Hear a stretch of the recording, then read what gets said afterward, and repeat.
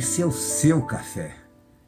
E é para animar o seu dia, animar a sua vida pessoal, sua vida profissional, sua vida familiar e certamente a sua vida com Deus.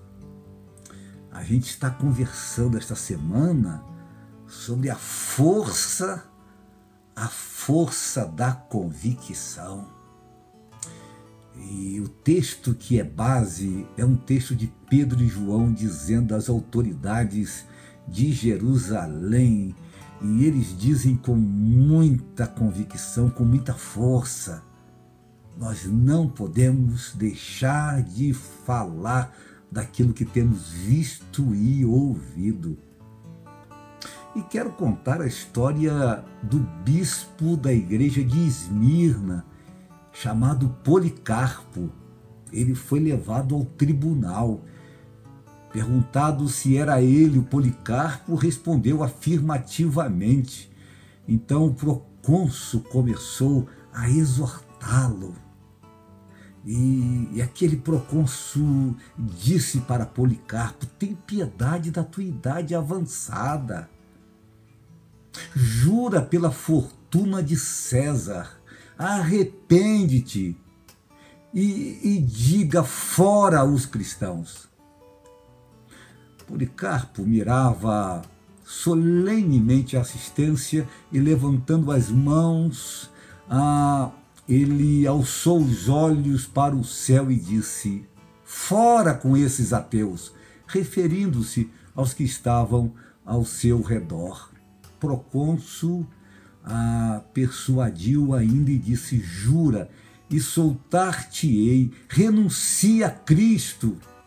O venerando cristão respondeu: 86 anos o tenho servido e nunca me fez mal algum. Como posso blasfemar do meu rei que me salvou? O magistrado disse: Tenho feras e te exporei a elas, se não a te arrependeres. Trazei-as, disse o Marte. Suavirei, suavizarei o teu espírito com fogo, disse o Romano.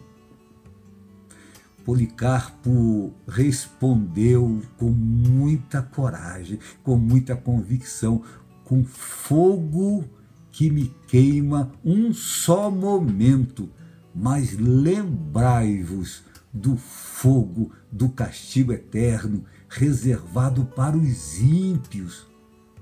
Na hora do seu martírio, a história diz que Policarpo dava graças a Deus, porque se encontrava entre os mártires de Cristo.